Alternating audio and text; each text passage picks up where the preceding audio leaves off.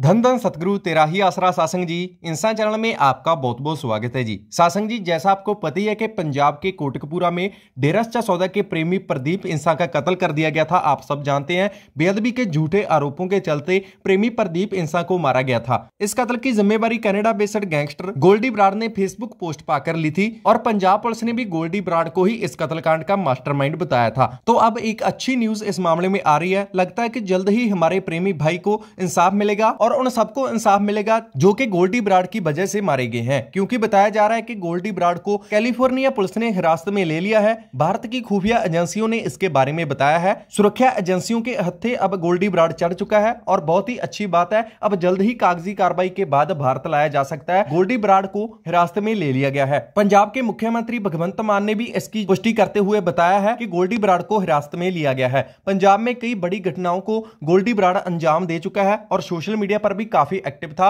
और लगातार अपने टिकाने बदल रहा था। प्रेमी प्रदीप इंसा के कत्लकांड का मास्टरमाइंड पुलिस हिरासत में आ चुका है और जल्द ही उम्मीद है कि हमारे प्रेमी भाई को इंसाफ ज़रूर मिलेगा। तो सासंग जी, अगर आपको जो वीडियो अच्छी लगे तो आप इसे एक लाइक कर सकते हैं। अगर आप ऐसी वीडियो देखना चाहते हैं तो आप हमारे चैनल को सब्सक्राइब भी कर सकते हैं जी। धन धन सतगुरु, तेरा ही आसरा।